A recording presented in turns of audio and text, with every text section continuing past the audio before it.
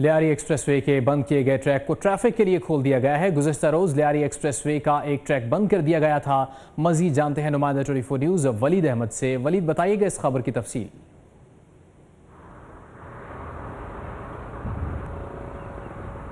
जी बिल्कुल 16 साल के तवील अरसे बाद मुकम्मल किए जाने वाला लियारी एक्सप्रेस वे का मंसूबा कराची वालों के लिए खासी अहमियत का हामिल है, क्योंकि कराची वाले जो है ट्रैफ़िक जाम की अजियत से जो है वो अलबत्त जो है दो चार रहते हैं। सुबह सवेरे के अवकात हों या शाम के अवकात हों, ट्रैफ़िक जाम जो है कराची का मामूल बन चुका है। इसीलिए जो है लियारी एक्सप्रेस वे मनसूबा के दो ट्रैक जो हैं, एक ट्रैक 2008 में जो सराब गोट से माड़ीपुर की जानब आता है, वो मुकम्मल करके 2008 में खोल दिया गया था। लेकिन माड़ीपुर से सुराबकोट जाने वाला जो ट्रैक है, वो तहाल जो है वो मुकम्मल नहीं किया जा सका था।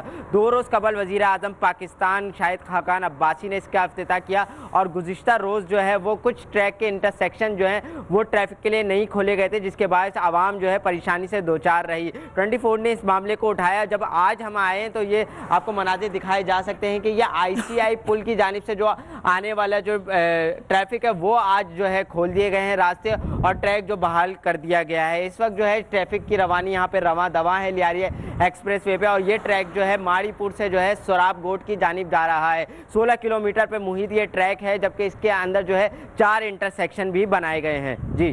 ठीक है, वलीद, बहुत शुक्रिया इन अपडेट्स के लिए आपका।